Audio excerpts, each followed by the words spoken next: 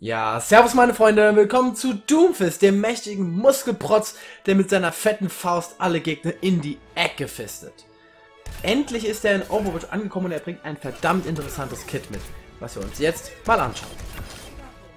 Der Linksklick ist die Handkanone, was eine Schusswaffe mit kurzer Reichweite und Streuung ist, dabei allerdings so ähnlich wie die Tracer Blinks automatisch nachlädt. Das heißt, du kannst entweder enorm hohen Burst Damage am Gegner anrichten, weil du relativ schnell hintereinander deine Shots abgeben kannst, also du hast eine relativ hohe Feuerrate, oder so ähnlich wie Diva einen sehr konstanten Schaden over time hast, weil du nicht nachladen musst.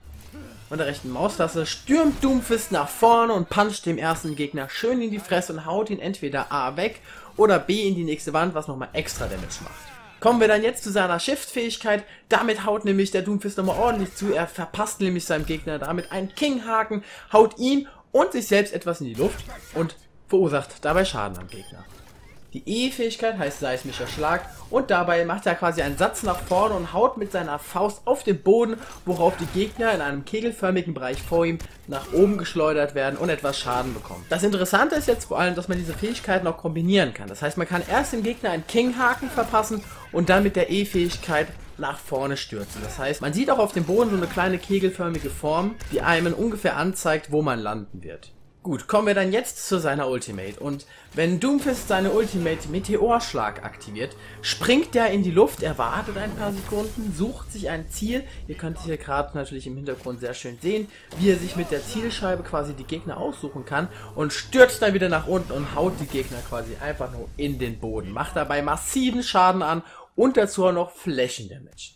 An sich schon mal eine echt coole Mechanik, aber wirklich interessant wird es, wenn man in seinem Team noch eine Zarya und eine Sombra hat und man diese Ultimate noch mit dem Graviton und einer EMP kombiniert, weil dann kannst du wirklich das komplette Team eliminieren.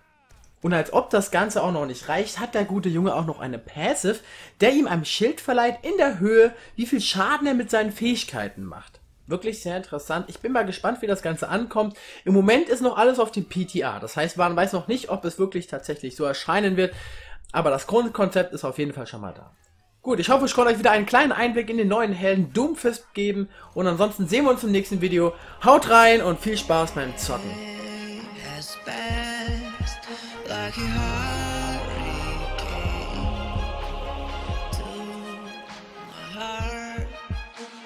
fire